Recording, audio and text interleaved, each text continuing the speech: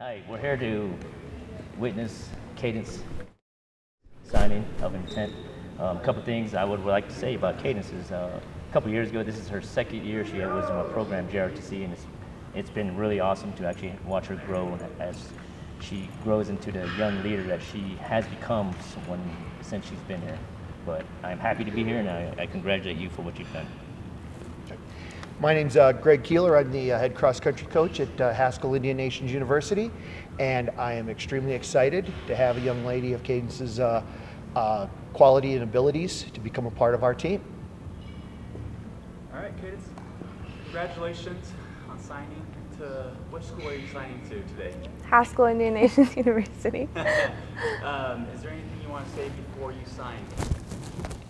Um, I just want to say thank you, first of all, to my mom, to Coach Keeler for coming out, Gunnery Sergeant Finale for saying our few words, and then also to my brother for coming up. And then I would like to thank uh, Ms. Walters for letting this happen, and Coach Alice, who wasn't able to attend today, but we know she'll be here.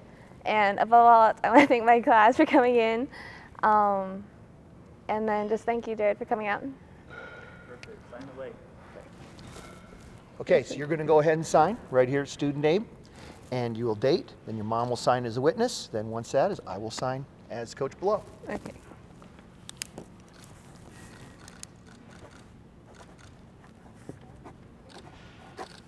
Today's date?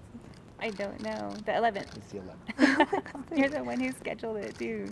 So, yeah, great. All right.